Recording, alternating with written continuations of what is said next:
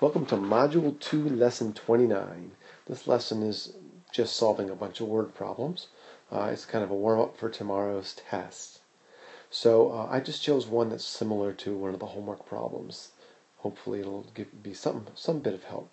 But they're all kind of different, so um, anyway, here we go. A city block is three times as long as it is wide. If the distance around the block is 48 hundredths of a kilometer, what is the area of the block in square meters? There's kind of a ridiculous question, isn't it? I don't know when we would want to know the area. I suppose we would. I don't know. Maybe it's a grassy field that we need to plant. But anyway, um, this is the problem. So what we have is we have a rectangle. Now I know that the perimeter, the distance around, is 48 hundredths of a kilometer. Now, they want the answer in square meters, and when we get into area, it's uh, length times width. You end up uh, in trouble sometimes with our units. So I'm going to change anyway to um, meters right away. So uh, I know there's a thousand meters in a kilometer, so 48 hundredths of a kilometer is actually 480 meters. That's the distance around.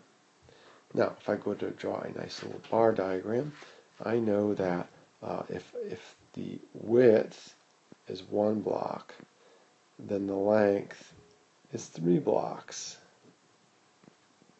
I know this because it said the length is three times as long as it is wide.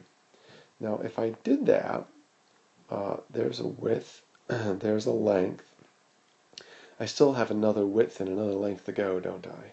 So I'm going to add another block for the width and another three blocks for the length.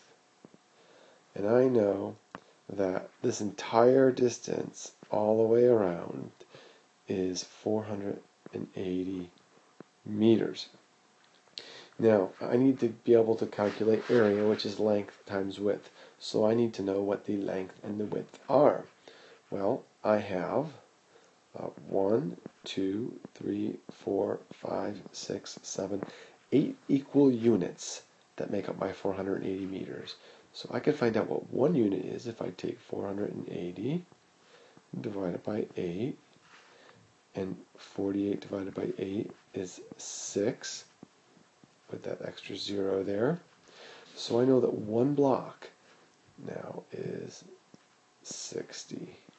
And I can check all my work uh, by saying I know the perimeter is equal to um, the length plus the width plus the length plus the width, or uh, 60 plus 60, there's my two widths, plus 3 times 60 is 180, plus 180, I'm running out of room there, sorry for the slop.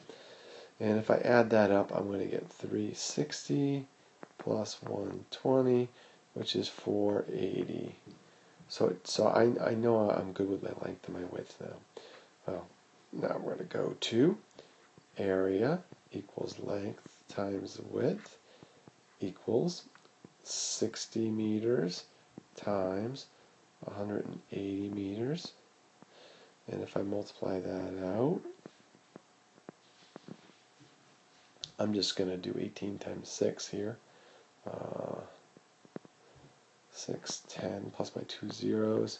I get 10,800 meters squared for my area.